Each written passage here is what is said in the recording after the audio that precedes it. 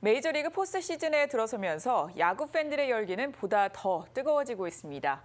특히 한인 팬들은 류현진 선수를 응원하며 다저스의 우승을 꿈꾸고 있습니다. 팬들의 분위기를 이삼현 기자가 취재했습니다. 메이저리그가 이번 주 포스트 시즌에 들어갔고 내일 다저스의 디비전 시리즈가 시작되면서 다저스 팬들의 응원 열기가 더 뜨겁게 달아오르고 있습니다. 특히 한인들은 올 시즌 14승을 달성한 류현진 선수가 소속돼 있는 다저스의 월드 시리즈 진출을 기대하고 있습니다.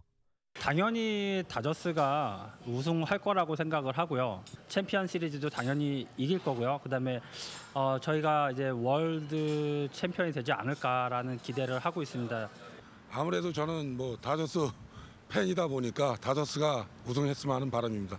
유현진 선수가 올 시즌 처음 시작해가지고 지금 너무나도 눈부신 활약을 하고 있기 때문에 그 영향이 가장 큰 것 같습니다. 그러나 안타깝게도 추신수 선수가 소속돼 있는 신시내티가 어제 피츠버그와의 대결에서 2대 6으로 패하면서 조기 탈락하자 포스트 시즌에서 류현진과 추신수의 격돌을 기대했던 한인 팬들은 안타까운 마음을 감추지 못했습니다. 팀 공헌도도 좀 높고 선두 타자로서 굉장히 그 자기 할 일을 다 했는데 에, 뒷받침이 안 돼가지고 그 포스트 시즌이 못 나간 게 굉장히 안타까운데요. 다저스가 포스트 시즌에 진출함에 따라 스포츠 용품 판매 업체들도 신이 났습니다. 스포츠 용품을 판매하는 곳에서는 현재 월드 시리즈 진출의 가망성이 있는 팀들을 스포츠 용품 판매가 두 배 이상 늘어났고 특히 다저스 용품은 어느 때보다 불티나게 판매되고 있습니다.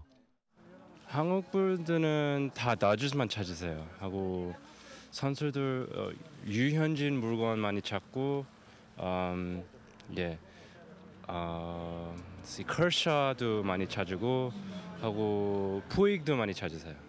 업소 내 대형 TV를 설치한 스포츠바나 식당들도 야구 팬들을 끌기 위한 만반의 준비를 하고 있습니다.